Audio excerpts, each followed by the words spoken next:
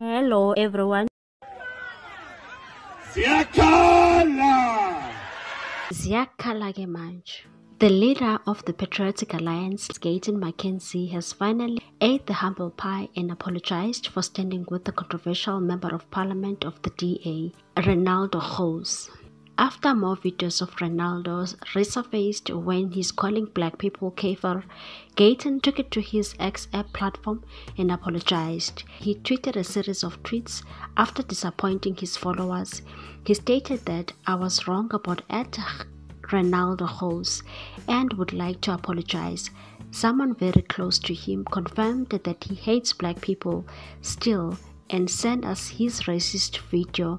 I apologize again for coming up for him. I should have kept my ideas of redemption to people that are truly remorseful. He also wrote, I'm going to take it a step further by leading the charge against him in Parliament. We shall also tomorrow report him at the Equality Court. Another tweet said, Some of you are so used to follow leaders who are arrogant. Know all leaders that go from mistake to mistake without apologizing. I was very wrong about Ed Renaldo Gouws. My apology is sincere. I thought he's being stoned for one video of 16 years ago, but more videos are coming out. In another tweet, he said, I personally have lost the right not to afford someone a second chance. It is now very obvious that Ed Renaldo Gouws needs to pay for his racism. He needs to come clean and admit that he needs to come clean and admit that he needs help. He is a racist. I thought it was an isolated video, but there is apparently more videos.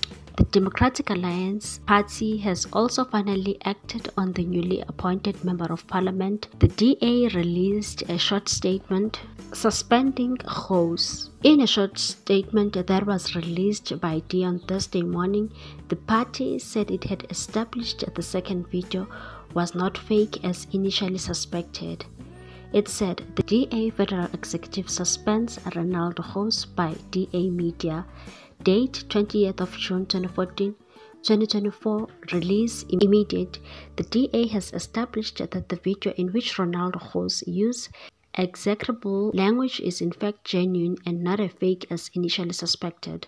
The DA Federal Executive has therefore suspended Mr. Gouws with immediate effect while he faces disciplinary charges before the party Federal Legal Commission. But other people are also not happy with Ian Cameron, another DA member of parliament.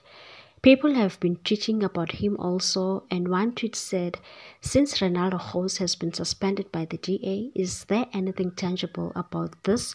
Ian Cameron, Pella birds of the same feather, what what? Another one said, Ian Cameron watching his beloved Renaldo Gouws fall. Ian is next. He has some dirty laundry hiding somewhere. If we dig, we will find it.